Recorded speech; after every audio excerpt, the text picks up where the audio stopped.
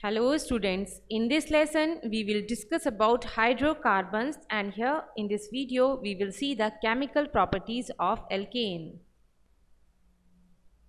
So, here is the substitution reaction of alkanes. The substitution reactions are those in which an atom or a group of atoms in a molecule is replaced by some other atom or group of atoms. In substitution reaction, we will see the halogenations. This involves the replacement of one or more atoms of alkanes by the corresponding number of halogen atoms.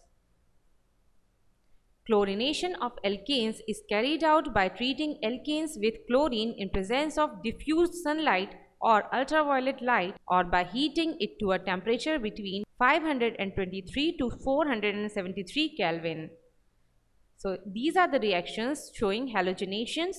You can see methane CH4 when will react with chlorine molecule then in presence of heat it will form CH3Cl that is methyl chloride.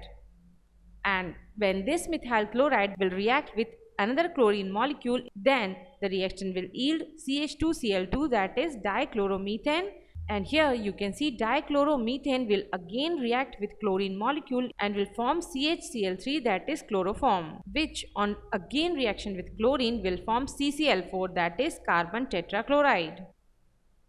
It is found that the rate of reaction of alkanes with halogens is fluorine more than chlorine that is more than bromine and finally iodine. So in this series you can see fluorine is highly reactive with alkanes while iodine is least reactive with alkanes.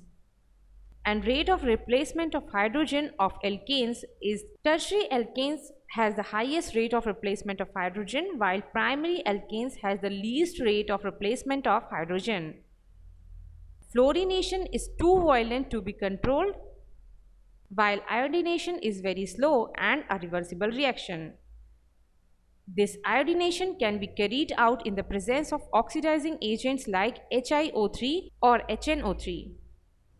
Here are the reactions showing this. You can see methane when will react with iodine then in the reversible reaction you will get CH3I that is methyl iodide and here as a byproduct you will get HI that is hydrogen iodide. So this hydrogen iodide when will again react with HIO3 that is hydrogen iodate then it will form iodine gas and water.